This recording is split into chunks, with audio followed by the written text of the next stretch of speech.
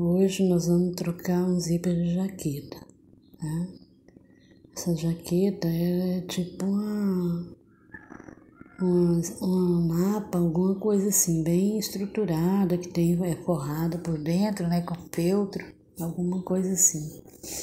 Ela tinha capuz, eu tirei, porque é pedido do cliente, e vamos tirar o zíper. Há casos que não precisa tirar esse, esse zíper, só trocar essa pecinha aí do cursor, né? Mas nesse caso aí é, foi necessário trocar, porque você tem que olhar se ele está funcionando, se o zíper não tem algum dentinho quebrado, se tiver tem que trocar mesmo. Né? Eu não achei o zíper da mesma cor, encontrei um preto, eu poderia trocar também pelo marrom, né? Mas o certo mesmo era o vermelho. Mas como não tinha, então eu trouxe o preto. Ele sempre vem maior, nunca encontra do tamanho da medida. Né? Então, pode cortar, né? Desde que você corte, embuta ele, não tem problema. Agora nós vamos desmanchar. Aí tem que usar essa pecinha aí, ó, de abrir casa. Ele é, ajuda muito, né? Porque na onde as costuras estão bem feita retrocesso, né, de acabamento, ela fica difícil. Então a, a pecinha ajuda muito a, a desmanchar, né? Tem que ter cuidado para não, né, não puxar demais, não rasgar, Todo cuidado é pouco na hora de desmanchar, tá? Mas é, não é difícil de fazer, não. Desmanchei, tô tirando as linhas, né? Aí agora eu vou pra máquina, ali ainda continuo limpando. Aí eu vou colocar agora o zíper. Estou analisando o zíper, olhando, verificando. Quando vocês forem comprar zíper, olha, abre, fecha para não. Já aconteceu comigo de eu pregar o zíper na hora de abrir e fechar. É, deu problema. Eu tive que trocar o zíper novamente. Então é bom analisar isso tudo, tá? Na hora de, de comprar, lá na, lá na lojinha de aviamento você já verifica se está tudo ok com o zíper na hora do encaixe, né? Então vamos pregar, ó, tô lá, fiz um arremate, né? Então eu indo pregar, ajustando o zíper na lateral, sempre fica uma linhazinha ou outra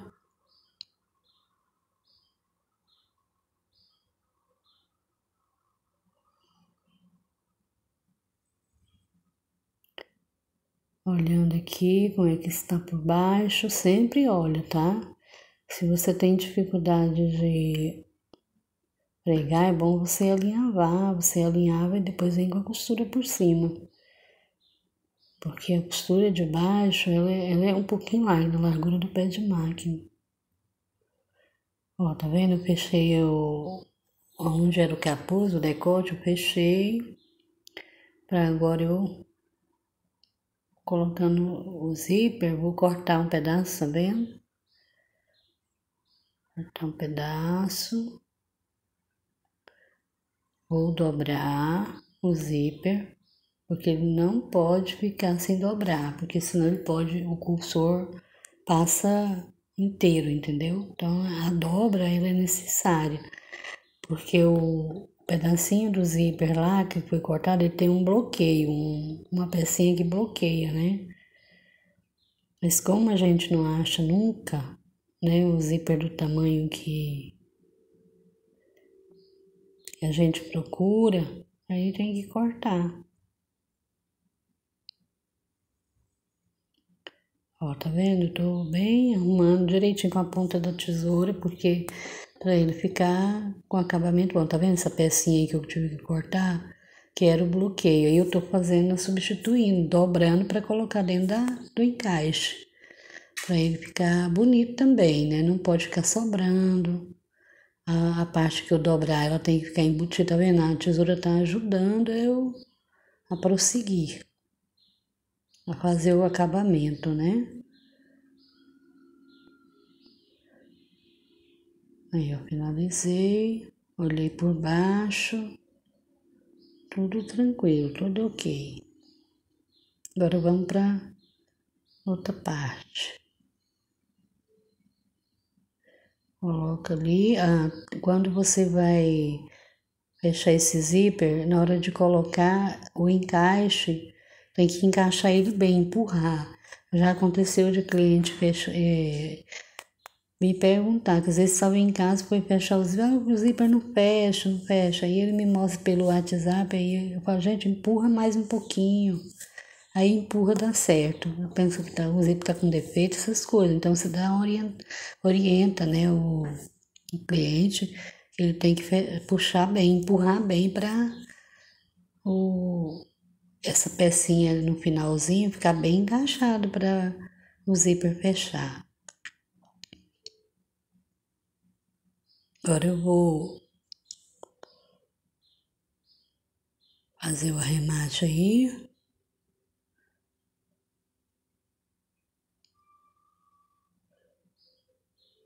Tô fazendo um testezinho antes. Você pode fazer com na mão, mas eu prefiro fazer assim, tá?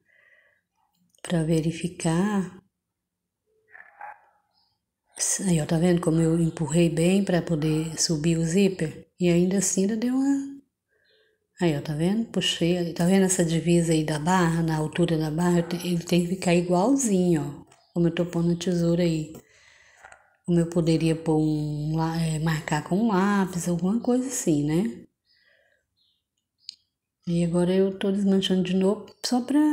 Porque eu queria ter certeza, né, da que o acabamento ia dar certo ali, a, porque não adianta você olhar depois que você fez todo o zíper, entendeu? E aí a dica é essa, pulo do gato.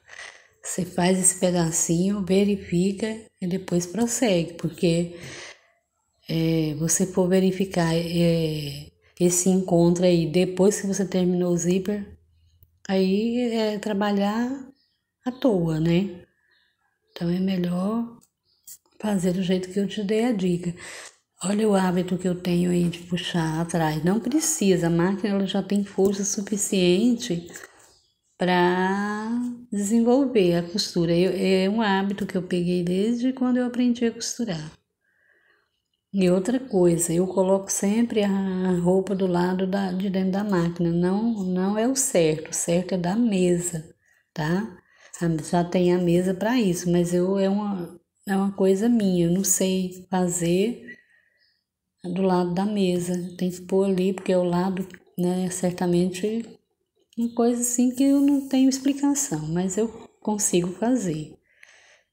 Mas o certo é você colocar do lado da mesa essa correção, porque porque você tem espaço, né? Na verdade, tem a mesa é um espaço para você trabalhar com a, com a peça.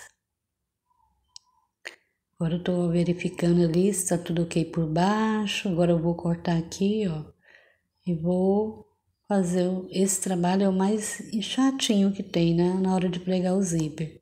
Quando vai fazer esse zíper é, de encaixe, ele tem esses detalhes que precisa de, ó, de empurrar, tá vendo? A tesoura ajuda você a controlar o, o cantinho. Agora eu tô finalizando, né? Ali, verifiquei, tô tirando a linha.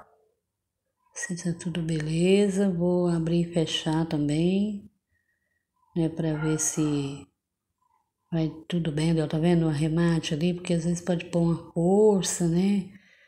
Então tem que ter segurança, postura, né? Então, agora eu vou abrir, testando para ver se está tudo ok. Né? Então, eu vou fazer um, um pesponto ali na, na gola, mas não vou mostrar. Obrigada, até bem.